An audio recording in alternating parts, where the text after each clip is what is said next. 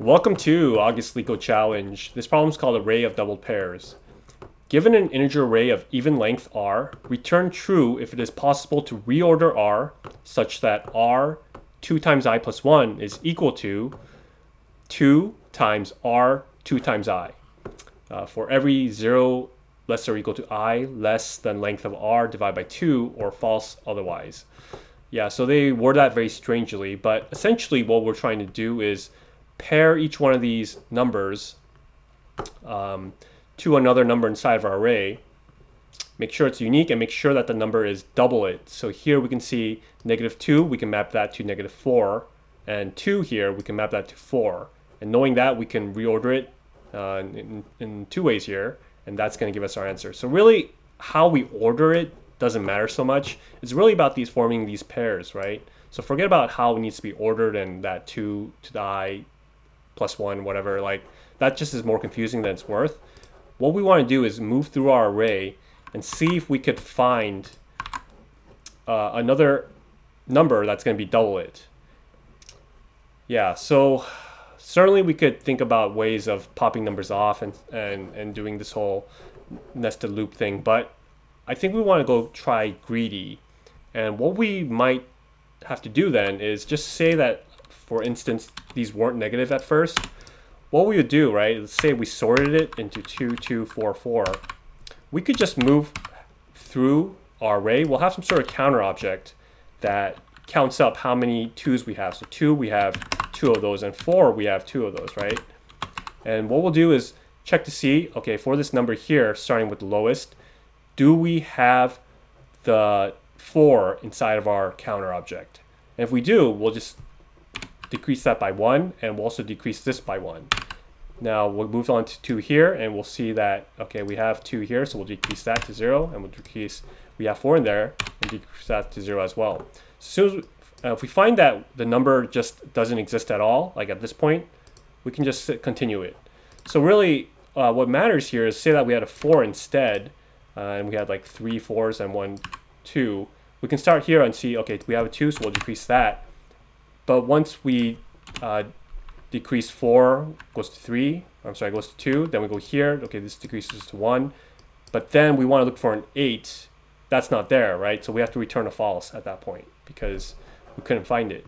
Uh, if we do come to a point and we see that uh, the 2x is, isn't in here either, that also is a false as well because, uh, because that's just the way it works.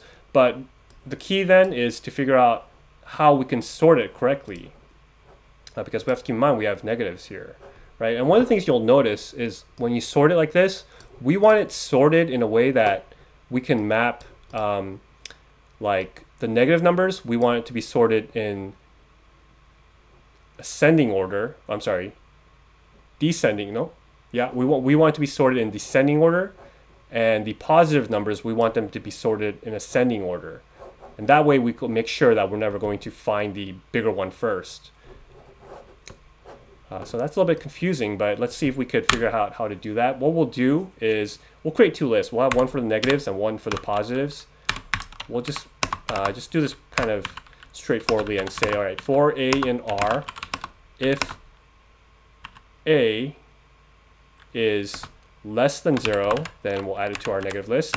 And for positive, we'll do the same thing, but we'll just say for A and R, if A is greater or equal to zero. So next let's recreate our R, but we want to sort that in that descending negatives in descending and positives in ascending, right? So what we'll do is say sorted of negative, uh, but we'll make this reverse. And then we'll just add the sorted of the positives. So now we have our new array and it's sorted in the way that we want. So now we just have to have our counter object, counter all the arrays, and we'll move through every single one of these for a in uh, array. If c of a is equal to zero then we can just continue because uh, that should mean that we found the big ones right? But if c of 2 times a is equal to zero this is a big no-no. So we have to return a false immediately. Now otherwise we just decrease by 1, and we decrease by 1 here as well. And if we can get through this entire loop, we should at this point have uh, subtracted all these all the way to zero, and we can just return a true at this point. All right, so let's uh, look at an example, make sure this works. Can run that. This should be false and this should be true, and it is. So let's go ahead and submit this. And there we go, accepted. Yeah, so time complexity wise, it's going to be n log n, even though it looks a bit bigger. I, am pretty sure it ends up becoming n log n, but we do have event space for our counter object. Now you actually could just not even do this whole thing. You can just um, convert all the negative numbers to positive and it still works. But that surprised me because uh, I, I, wasn't sure why that is fine, but I guess that works too. Uh, I just did this. This is how I did it at first. So um, I just want to show my approach. Um, and that would really be it. I, I, think the big key here is just figuring out, yeah, we're not really trying to figure out the order necessarily. We're just trying to map each one of these numbers to another uh, and only using it once. That's key, right? Because we can have two, four, four, four, and we don't want to we don't want to remap the two to like all the other fours or whatever. So, uh, all right, I, I think that's about it. Hopefully that helps.